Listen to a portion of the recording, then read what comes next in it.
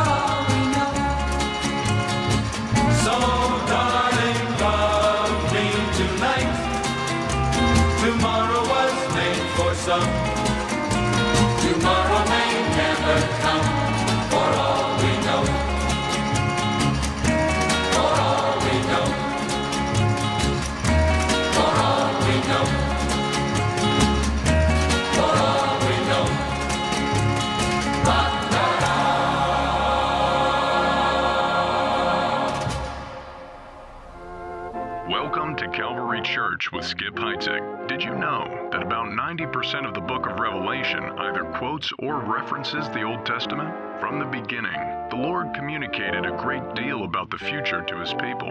In this teaching series, Pastor Skip explains the theology of the end times and the differing conclusions biblical scholars have reached.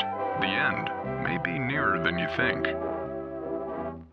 We're finding that God is doing exactly what He said. punishing tornado outbreak continuing in the south right now. urgent shelter And as we know, the World Health Organization just de- de- declared this a global health The city of Babylon emergency. over in Iraq. I think it's going to be rebuilt. There's already things happening there today, and you know, it's right. Now for the last look. Let's turn in our Bibles today to Revelation chapter 13. Revelation chapter 13. We're doing a series on eschatology, the end times. It's called the end. Um, the end is near? Question mark. I almost forgot my own title. The end is near? Question mark. And um, we've been looking at this subject relatively in depth. We, we talked about millennialism, the concept of those who believe in a literal thousand years versus those who don't, and, and the different theological viewpoints. We've talked about the role of Israel in prophecy. We looked at God's time clock, Daniel's 70 weeks. We've looked at the rapture of the church. We gave an overview of the book of Revelation. So uh, we are 16 weeks in already in this series. And today I want to talk to you about a subject found in Revelation chapter 13. Listen, I love talking to you about Jesus Christ. Unfortunately, today I've got to talk to you about the Antichrist, the exact opposite of who we know our Savior to be. But he is a prominent figure in Scripture. There are about a hundred passages in the Bible about this coming leader. And one thing I've noticed in studying the Antichrist, what it does for me, it makes me appreciate Jesus Christ all the more. So at least we'll use that as a form of comparison. Now, as we get into Revelation 13, keep something in mind.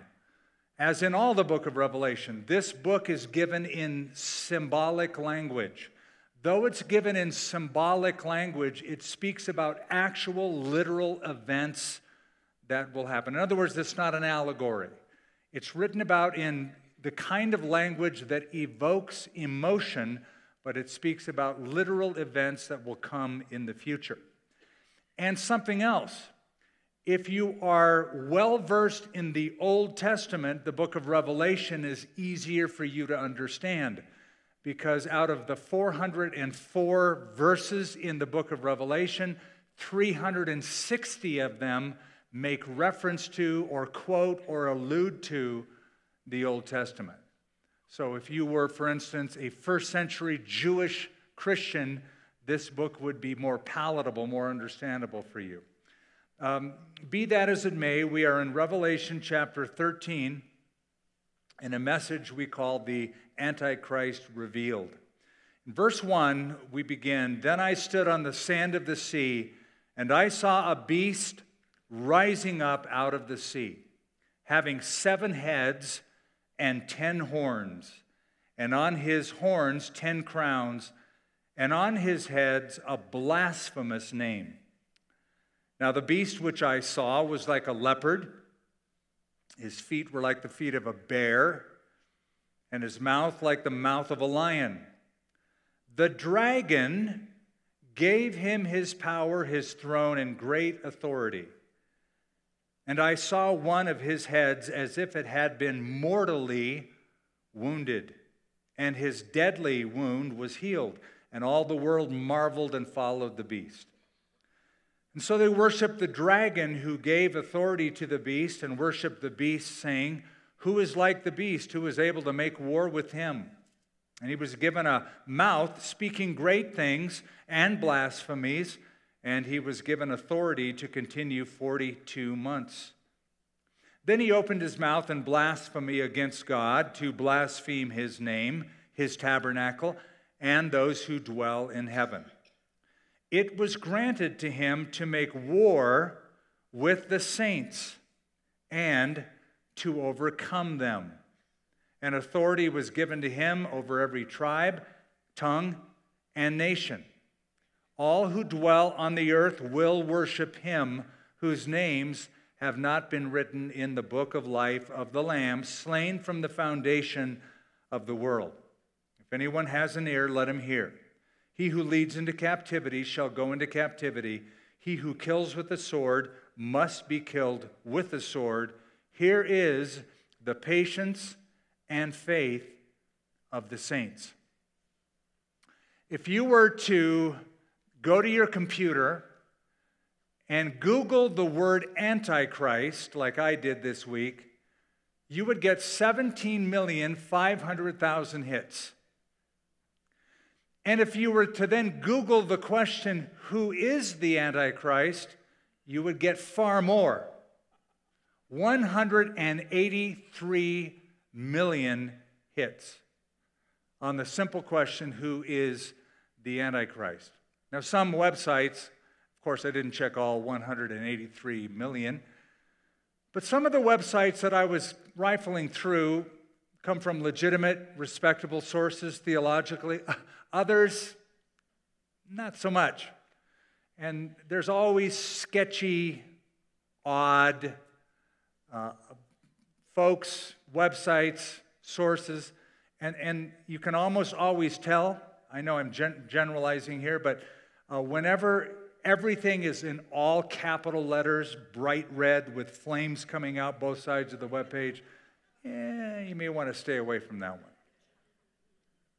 But what I discovered is that the subject of Antichrist generates more speculation and interest than just about any other subject when it comes to Scripture. Especially, especially if there are leaders that take on the personality or the vocabulary of what we would associate with the Antichrist. For example, here's a quote One single center of power, one single center of force, one single center of decision making. This is the world of one master and one sovereign. I found that quote from the New York Times, spoken by Vladimir Putin, the president of Russia. Well, that's, that's Antichrist esque in the least. Uh, here's another quote from a different leader Just like Christ, I have a duty to my people. This leader claimed that just as Jesus' birth changed the calendar, so his victory would be the beginning of a brand new age. And he said, What Christ began, I will complete.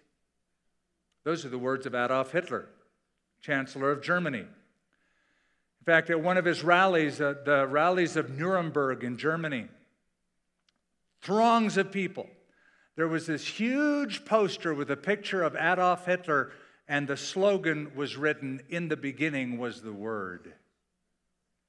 Well, that's, that's very Antichrist esque. And just think of that as a preview of this in Revelation chapter 13.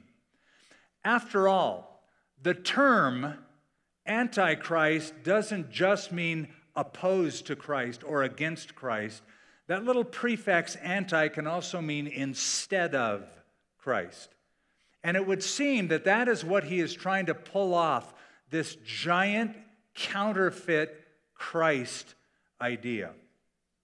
He will be a Satan inspired, Satan infused, Satan possessed leader that will emerge during this time period we have told you about called the tribulation period, a seven year period in the future upon the earth. Now, he's known to us as the Antichrist, though he has like 50 different names in the Bible. The one that really stuck even though it's only mentioned a couple times, is the name Antichrist. So we're going to go with that one. And uh, I've discovered that whenever you have any serious conversation where you mention the Antichrist, if you're talking to like um, unbelievers, just watch their eyes. If you say there's an Antichrist coming, watch their eyes. I can almost guarantee you they will roll them in their heads. Or they will snicker. I mean, because Antichrist is right up there with like Santa Claus, the Easter Bunny, and the Tooth Fairy. But the Bible predicts him.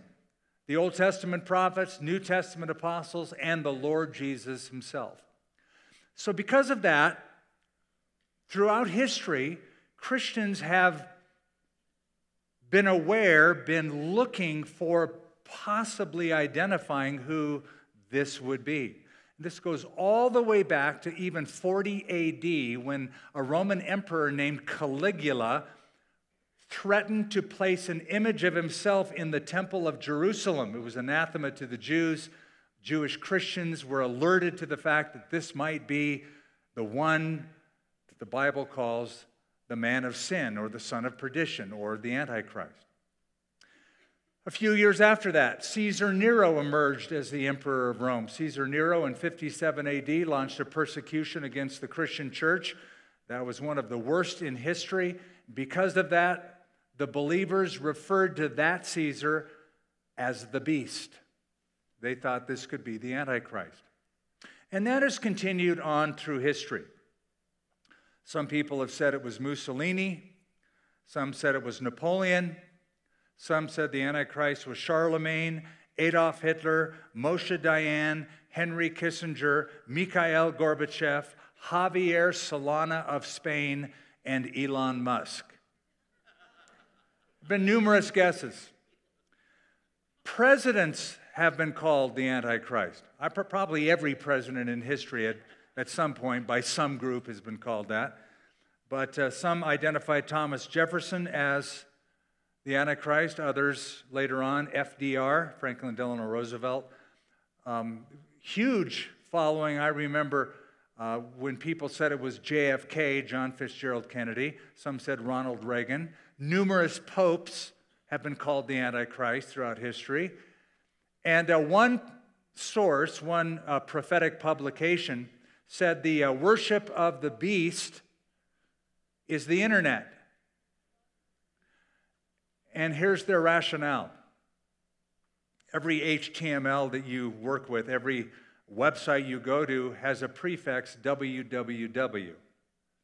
Well, www, the, the, the letter W corresponds to the Hebrew vav. It would look like a, it would appear like a W in, in our transliterated uh, style. And so there is a practice called gematria. Gematria is where you take letters of the alphabet and assign a numeric equivalent. It's an ancient practice from the Greek times, and the, the Jewish people did this. So uh, certain languages have numeric equivalents. The sixth letter of the Hebrew alphabet is the letter Vav. So Aleph, Bet, Gimel, Dalet, Hey, Vav.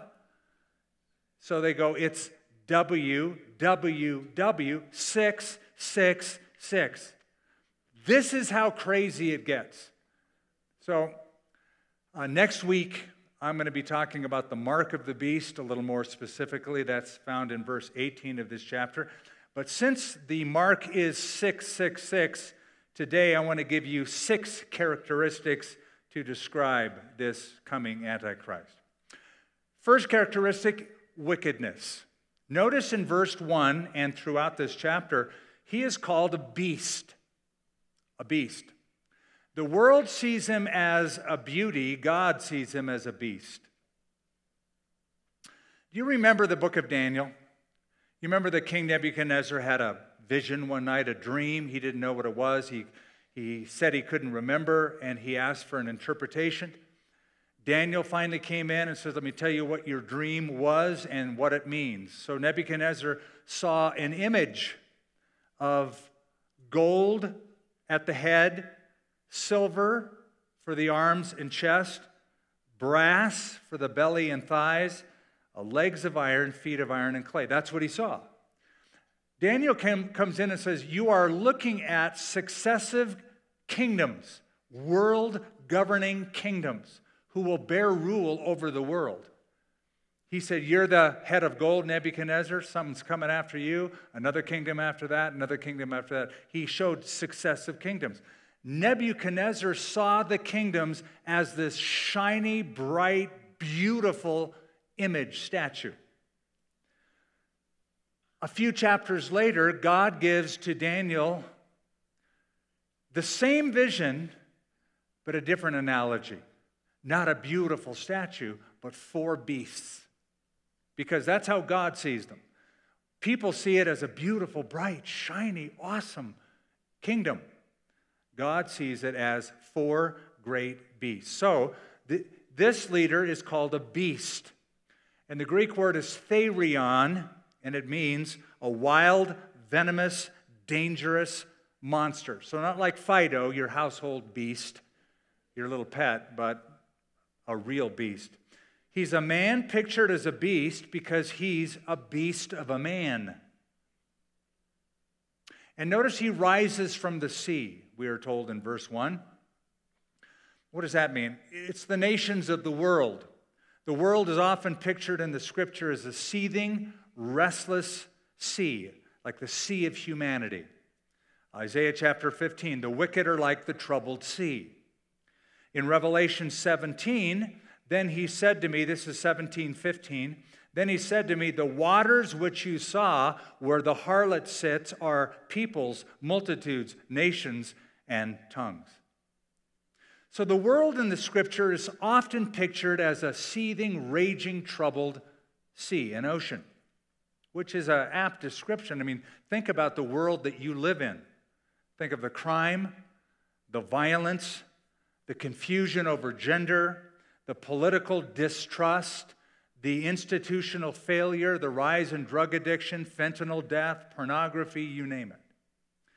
Jesus in Luke 21, speaking of the last days, said, There will be distress of nations with perplexity, the sea and the waves roaring. That's Jesus' own description of the end of days. Distress of nations with perplexity, the sea and the waves roaring. By the way, that word perplexity that Jesus used, it's the only time it's found in the Greek New Testament. It means confusion, and it could be translated no way out. People will say, There's no way out of this mess. There's no fix to this solution. We, there's no way we're going to get out of this. Well, just at that time will emerge out of that troubled sea a leader that we call the Antichrist. He will begin as a peacemaker, Revelation chapter 6, man on the white horse, but he will bring with him war and destruction. He'll come as somebody who's charming and charismatic and dynamic, a beauty, but he's really a beast. Arnold Toynbee was a British historian. Some of you know who he is, or he was. He was a British historian who studied in particular the decline of historic civilizations. And he said something I want to read to you. He said, By forcing on mankind more and more lethal weapons, and at the same time making the world more interdependent economically, technology has brought mankind to such a degree of distress that we are ripe for the deifying of any new Caesar who might succeed in giving the world unity and peace. So they'll be perplexed. There's no way out. Oh, really? Well, have I got a solution for you? He's a beast. So that's his first characteristic wickedness.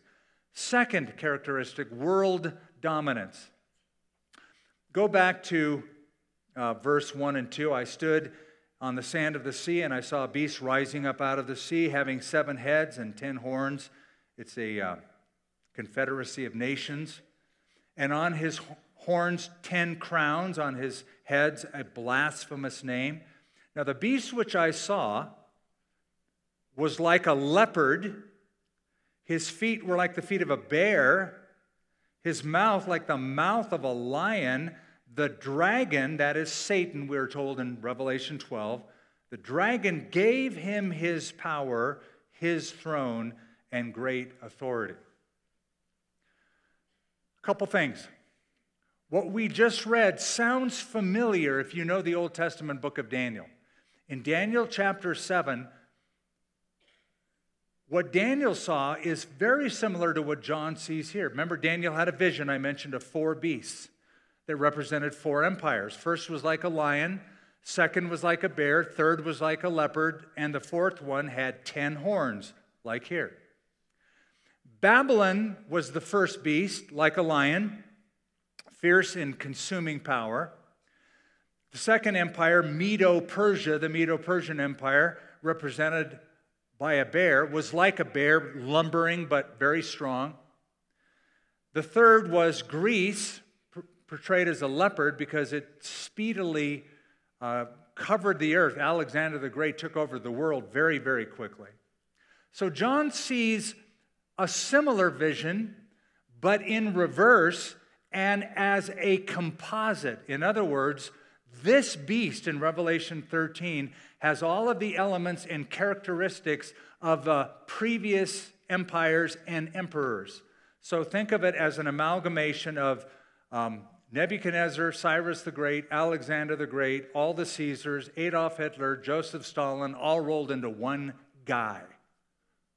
A beast rising out of the sea, and this description. Couple things to make note of. Who gives him his power?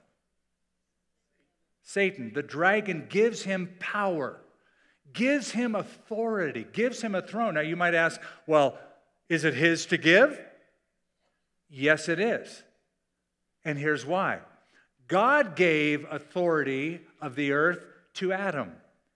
Adam turned it over to Satan at the fall. It was delivered to Satan.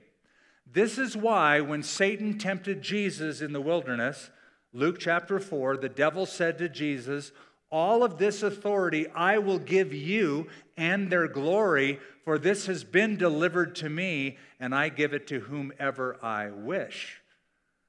This is why Jesus called the devil the ruler of this age. This is why Paul called the devil the God of this world. So Satan empowers him. And then notice also that his authority is worldwide. So there's wickedness and now world domination. Look at verse 7. It was granted to him to make war with the saints and to overcome them, and authority was given him, watch this, over every tribe, tongue, and nation. There will be a confederacy of 10 nations that will come about, some kind of confederacy. It's been guessed as to what that is exactly. I'm not going to venture a guess today uh, in today's study. But it's enough to say that his control, his influence, his power will be a worldwide domination. Now, since the 90s, it may have been before, but as far as I can remember, the big buzzword was globalism, still is globalization. We talked about a, a global market, a global village. We want a global economy. Several groups that push for that. I'm not going to get political today and say which ones they are, but uh, I did find one group called the Democratic World Federalists, based in San Francisco. That doesn't surprise us, but they have worldwide supporters. They want a federal system of world government. And on their website, their stated goals are establish a world parliament, enact world laws, create a world central bank. Well, all of that is exactly the same goals as this Antichrist will have. And so he will give that to them. So we have wickedness, world domination. Third characteristic, wonder. Verse 3 I saw one of his heads as if it had been mortally wounded, and his deadly wound was healed. Notice his deadly wound was healed. And all the world marveled. The old King James says, wondered and followed the beast. I'm not going to be dogmatic on this, but here's what it seems, and I'm following, I think, pretty good scholarship in what I've read. It would seem that there's going to be some sort of an assassination attempt on this leader. So much so that he gets a wound that the world believes he's dead. He died from this wound. And that he will stage a resurrection. Now, I would say it's a pseudo resurrection, it's a staged resurrection, it's false, because I believe only God can give life. But it will appear as if he has died. After all, he's called the Antichrist, right? So if he wants to, if he wants to be someone who is instead of Christ, a resurrection would be perfect. Because there's only one true Savior who rose from the dead, but this will be a fake resurrection. So imagine the scene. Imagine an assassination takes place of a world leader. He is lying in state. He's in a casket in some rotunda um, in one of the cities in the Middle East. Thousands of people are lined up to pay their respects. The news is covering it day after day. The camera zooms in, and suddenly the guy in the casket gets up. What would be the result of that? Marvel, wonder, wow. Who is like the beast? Nobody's like him. They will wonder after him. And so, this event could be what makes everybody go, He's the one. He's the sent one. He is the Messiah. And perhaps this is what Jesus meant when he said, I have come in my Father's name, and you did not receive me. Another will come in his own name. Him you will receive. So they will wonder. The Greek word thaumazo, they'll be mesmerized by him. Now, wonder is always the first step to worship. And worship is the fourth characteristic I want you to see. In verse 4, so they worshiped the dragon. Who's the dragon?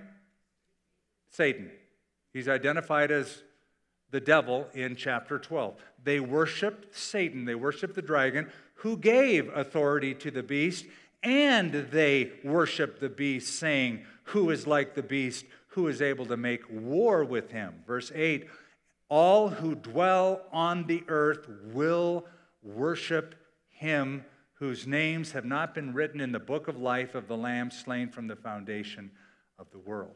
Their wonder turns to worship. Their fascination turns to adoration. You know, I used to ask, how can anybody worship the devil?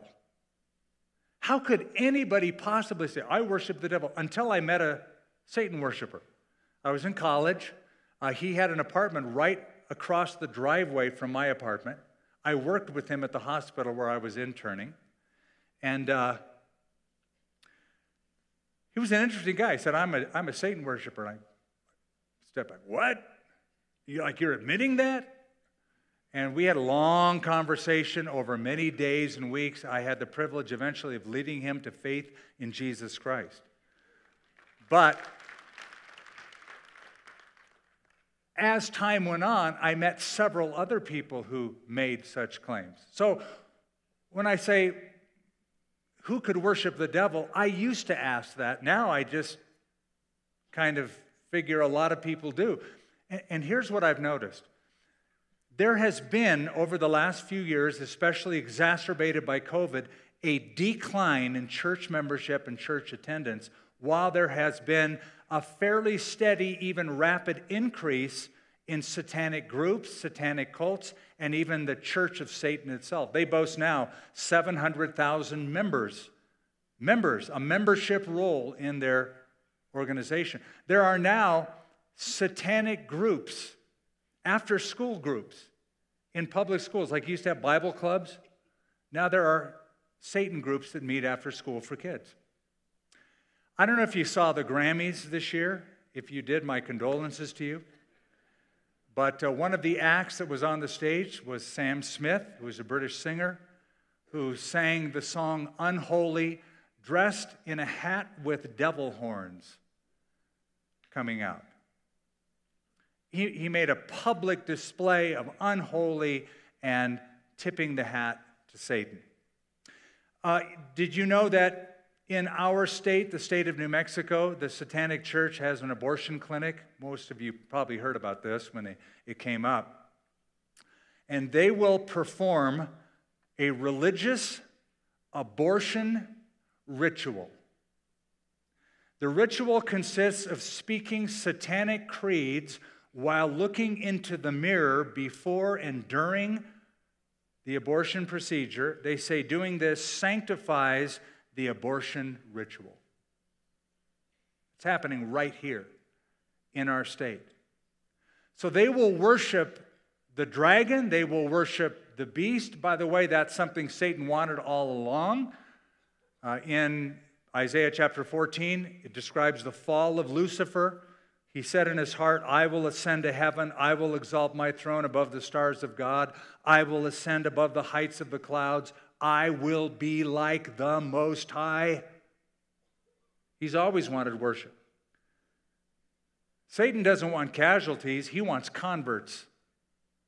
And he will have it in the tribulation period. The world by this time has rejected the Lamb, and in his place they have received the beast. He will get worship. So, wickedness, world domination, wonder, worship. Here's the fifth characteristic words. Words. Now, notice this. Notice in verse 5 and he was given a mouth, speaking great things and blasphemies, and he was given authority to continue 42 months. That's three and a half years. Then he opened his mouth in blasphemy against God to blaspheme his name, his tabernacle, that's the temple, I imagine, and those who dwell in heaven. Now, this characteristic of using his speech, his words, is noted not just here in Revelation 13, but in other places in Scripture. It seems by all of these descriptions that this Antichrist will be like the consummate politician. Daniel chapter 7 describes him by using a phrase four times a mouth speaking pompous words pompous word. He will not have a self esteem problem. He will love selfies. It's all about him all the time. Almost all dictators in history have risen to power in part by their ability to use words by persuasive speech. I don't know if you've ever seen the old videos of Adolf Hitler and how he would mesmerize the crowds. But let me give you just a sampling of it, not an actual clip, but he would get up to the podium after he was introduced. The crowd went wild, clapping for him, and he would just stand there in silence. And he waited till everybody in the crowd was absolutely quiet. He would begin his speech with a very soft whisper voice, almost appearing nervous at first. Then, as speech went on, and he would talk about injustices done to the German people by the previous war, etc., and what they need to be like and where they could go, his voice would rise in volume, intensity, in passion. He would sway back and forth, side to side. He started gesticulating, moving his hands around, up and down, sweating. His face grew white. And at the end, of course, he was yelling out in, in short little staccato phrases. And by the end, the crowd was swept up in a frenzy, just spontaneously shouting out in unison, Heil Hitler, Heil Hitler, Heil Hitler. It's amazing to watch the power of persuasive speech. He will be given a mouth speaking great and pompous words. One of our own writers, Nathaniel Hawthorne, said words so innocent and powerful as they are, standing in a dictionary, how potent for good and evil they become in the hands of one who knows how to combine them. So, he will be empowered by Satan. He will appear to be a beauty, but really he will be a beast. He will mesmerize the world by a fake resurrection. He will be a powerful speaker. Let me give you the sixth and final characteristic, and that is war. War. Now, once he mesmerizes the world, once he succeeds in dominating the world, getting people on his side, uh, maybe in part by the peace plan that he brings in, Revelation chapter 6 uh, seems to indicate. Once he succeeds in dominating the thinking of the globe, he will then unleash war against them. Look at verse 7. It was granted to him to make war. But notice with whom? With the saints and to overcome them. And authority was given over uh, him over every tribe, tongue, and nation. And all who dwell on the earth will worship him, whose names have not been written in the book of life of the Lamb slain from the foundations of the world. Now, uh, this is not the first time that uh, this is revealed.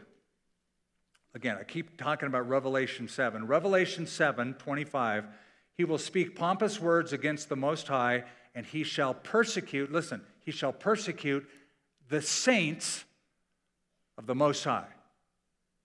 He shall persecute the saints of the Most High. Here it says he's granted to make war with the saints and to overcome them. He's going to harass believers. He's going to um, seize their property. He's going to kill them if they don't take the mark. More on that next time. Now, let me offer a timeline for you, just a, a little bit of a, what I think how this would fit in terms of a timeline scenario. You have seven, seven years, a seven year tribulation period. At the beginning of that tribulation, it will seem to be peaceful. It will be relatively calm because a people previous to that will be perplexed. They don't see a way out. There's trouble in the world until this leader comes and fixes things, makes promises, is able to swing a peace deal in the Middle East, build the Jews a temple, quell all the riots that have gone on there. So he'll bring peace at first. At the mid mark, 42 months and final 42 months, three and a half, three and a half. In the middle of that, things change. In the middle of that week, seven year period, he breaks the covenant that he has promised to the Jews. He persecutes the Jewish people. It gets worse. He kills two thirds of all the Jewish people living in the state of Israel at the time. Two thirds of them at his hand are killed. That's Zechariah chapter 13. Then he takes over, he conquers the city of Jerusalem. That's Zechariah chapter 14. And he goes on a rampage to kill believers around the world. That's Revelation chapter 13. This is something Jesus predicted. Matthew 24 says, They will, he said, they will deliver you up to tribulation and kill you, and you will be hated by all nations for my namesake. He predicted this. Now, some of you are troubled by what we have just read because it says he's going to persecute the saints, he's going to wear out the saints, or um, kill the saints. He has power to overcome the saints. And, and what troubles you is you go, wait a minute, wait a minute. How could that be possible?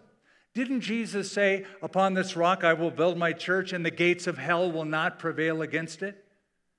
Yes, he did. And that's the whole point. This isn't the church as we know it. The church has been raptured before the tribulation period.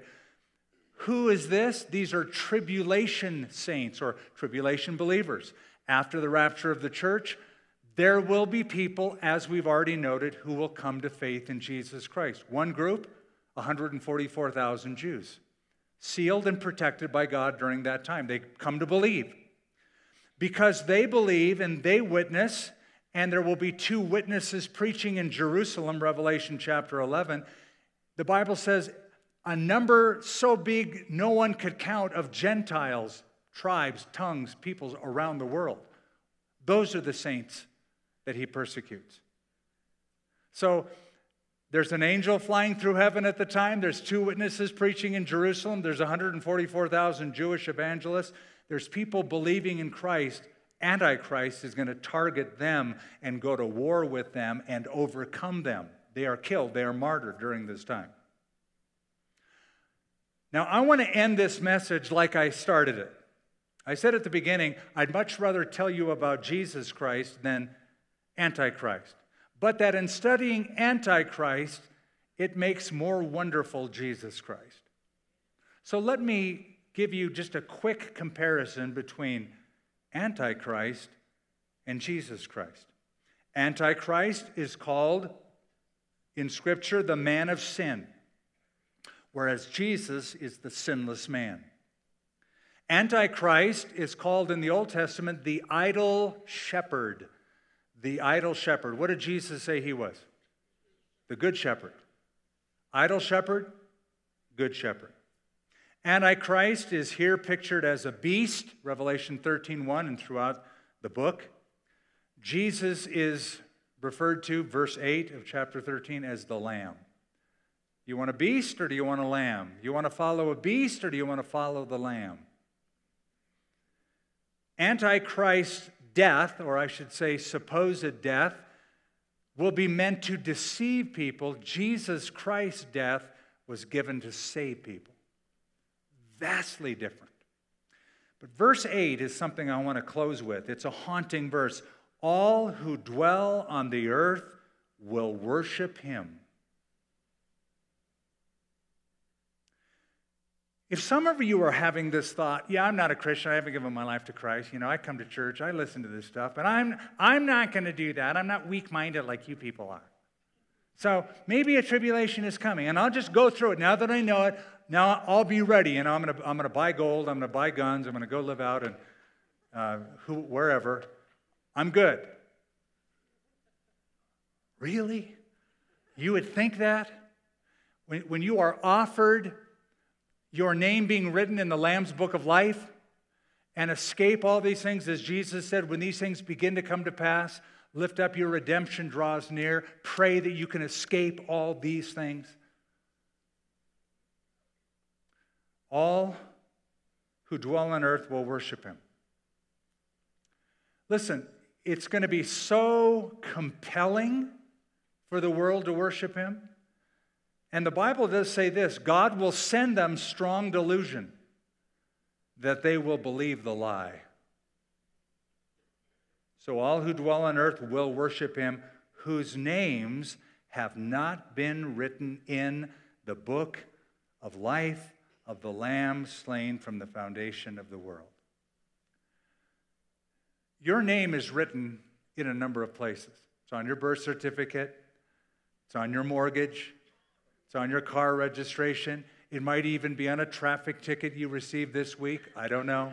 It's on your driver's license. It's on your bills that come to your mailbox. But is your name written in this book, the Lamb's Book of Life?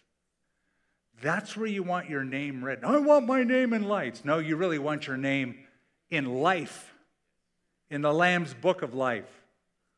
And if it's not there, if you're not sure that it's there, be sure now, today. Make a decision to follow Christ today. Don't wait another day. Don't risk another week. Say yes to Jesus today. Father, thank you for the ability to see the future, albeit dimly. We see through a glass darkly, but then face to face but to be able to notice certain characteristics of someone that you said through prophets and apostles and the Savior is coming to this earth. A man of sin, the son of perdition, the lawless one, the Antichrist.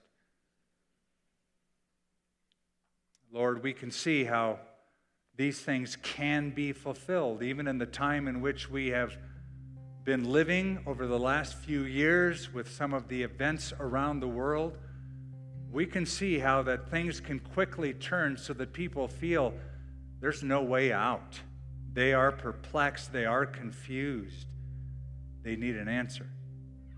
And that they would be ready to believe any government, any official, anyone who could promise and produce a level of anxiety free, peaceful living. So, Lord, ready our hearts, not only for what is coming, but especially for what we know will come to everyone, and that is, unless you come back for us soon, death. Lord, I pray that everyone here in the hearing of my voice, who's out in our amphitheater, who's listening by radio, who's watching online, who's here in this auditorium, who's at our campuses in Santa Fe and the West Side, if their name is not written in the Lamb's Book of Life, or if they're not sure that it is, they would make sure.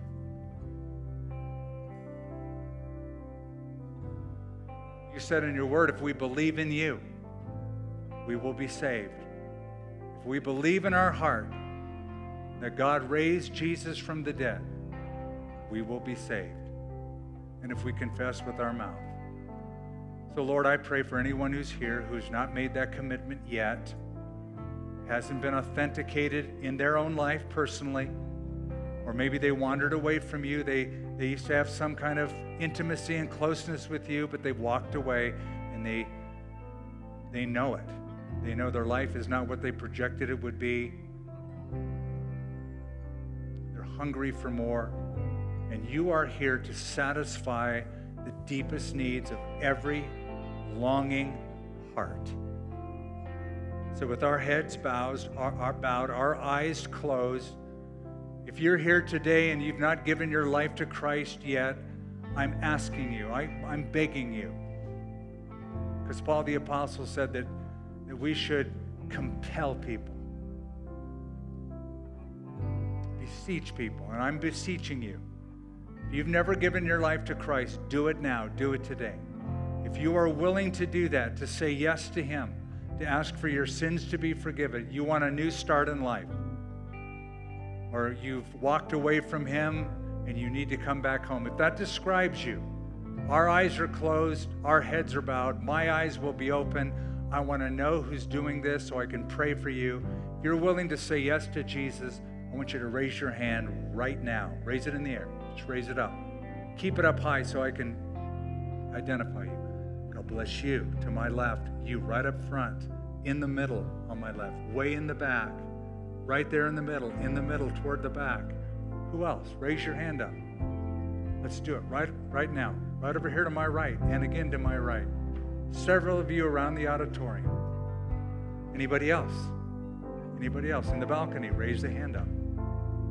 Or in the family room right over here.